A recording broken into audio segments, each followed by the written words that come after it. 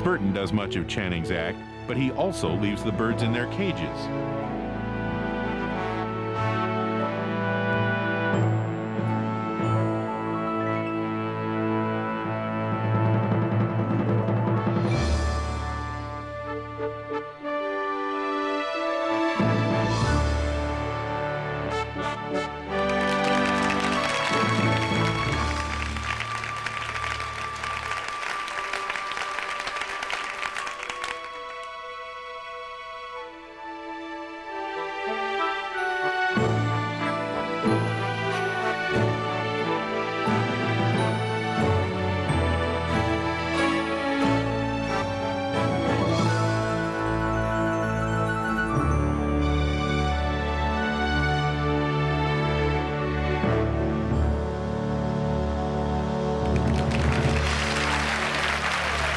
At the stake in 1450.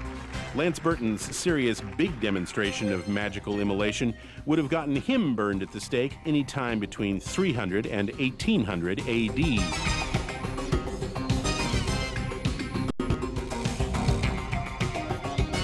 In the latter Middle Ages, the Inquisition turned from heretics to witchcraft with a vengeance. Magicians tried to protect themselves from the Inquisitors as best they could by looking and acting non threatening. Lance Burton certainly wouldn't have tried cremating and restoring any of his followers back then.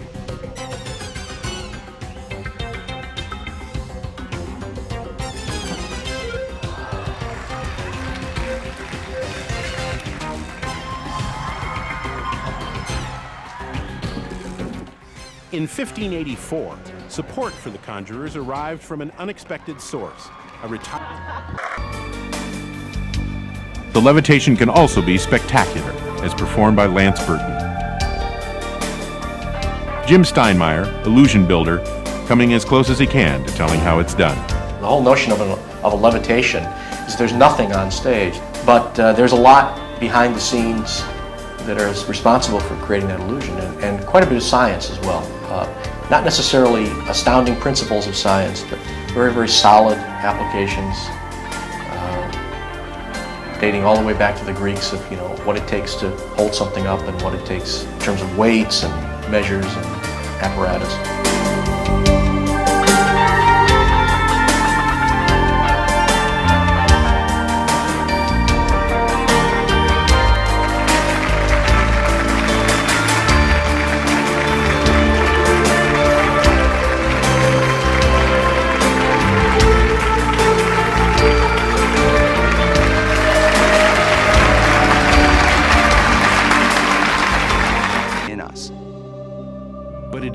Nature to journey farther out, seeking the ever more fantastic. Coins from the air are fine, but we want to fly. With the help of new technology, and in a world less eager to attach the conjuring artist to the burning stake, magic in the mid 1800s began to fly and do a great deal more besides, and it returned to secular versions of the holy temples of its infancy. As the theater evolved, there came a housing again to create kind of a sacred place for the arts. Oh, did I say sacred? And here, the magician moves from the street back into the temple of the arts. Which is the theater, with the magician playing the challenging central role of God, creating, destroying, transforming. The fire and the stake forgotten at last. Do you believe in magic?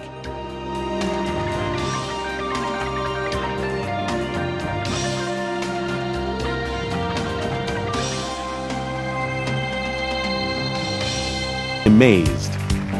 The magician is Lance Burton, the speaker is Jeff McBride.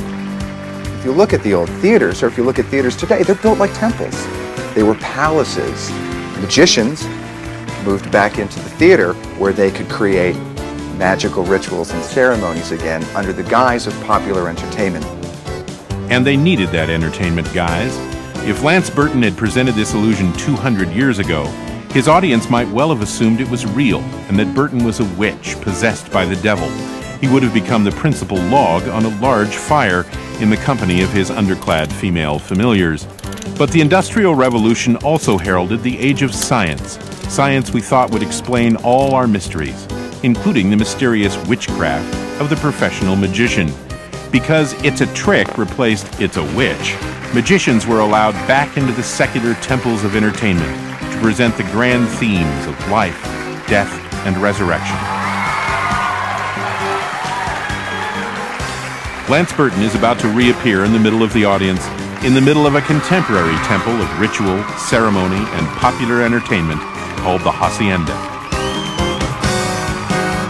What we're going to see is that the more people are presented with answers, the more people are told to stop caring about things. The other Las Vegas illusionist to watch is Lance Burton, an erstwhile Kentucky farm boy who's been practicing magic since he was five years old.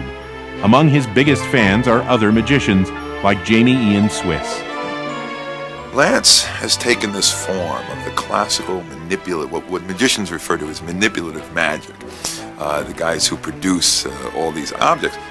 And very often, most of the time, you see performers doing this type of magic, instead of wondering how they do it, you kind of wonder why. The answer is, if you can do it this well, then it's worth doing.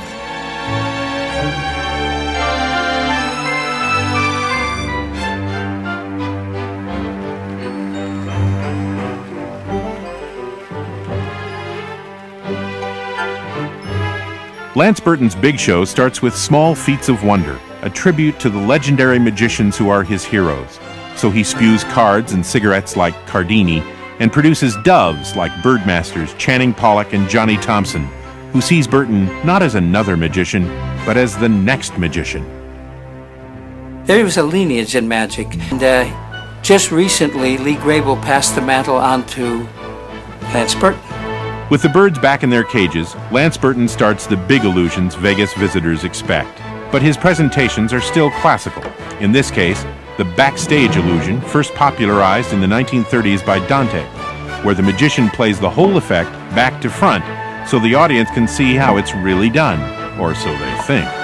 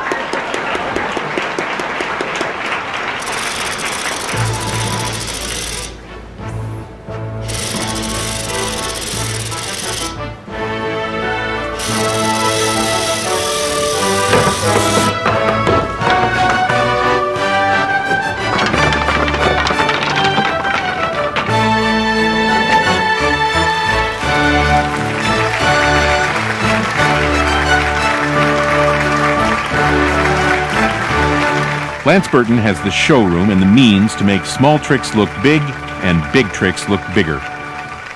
Smiling, dancing, fish-netted women. The presence and absence of women in magic isn't solely a gender issue. It reveals a lot about the nature of performance magic itself and the nature of the audience. One reason there are so few women in magic is that magic is a display of power. And within this culture, that is something that traditionally has not been acceptable for women. And so for decades, most women have been powerless assistants on the magical stage, referred to in the trade as box jumpers or tray girls. Lance Burton's big show is almost over. One of his last illusions is packing up the portable props and the underclad female familiars. But his work as a magician doesn't end when the curtain falls. He feels a responsibility to his art that transcends performance. There's a lot of knowledge that isn't in books, it isn't in lectures, that's passed on from teacher to student to the next student by word of mouth. And basically, that's how magic was learned for the last 5,000 years. Since the earliest times, magic tricks have evolved, especially the grand illusions. The technology has improved, but times and tastes have changed too. Lance Burton is doing a double levitation here, rising skyward, lying under a beautiful young woman. If Robert Houdin had tried that, even with Madame Robert Houdin up top, his 19th century audiences would have rioted. But then they'd never been to Vegas. Jeff McBride. Levitation deals with the ancient desire of the human condition to transcend the material world and to evolve towards the spiritual world. That's the nature of life. But sometimes it's just fun to watch.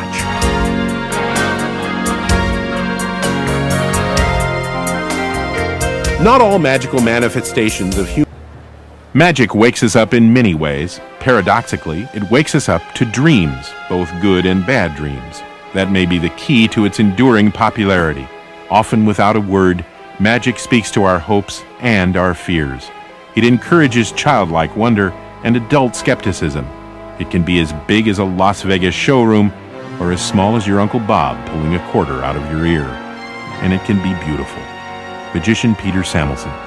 As magicians, I think one of the things that we strive to achieve is an element of artistry. And if you approach art, then you really need to ask the question of what is art for or what is it about? And, and I think that it needs to involve a leap of the imagination. It needs to come to a new way of seeing part of the world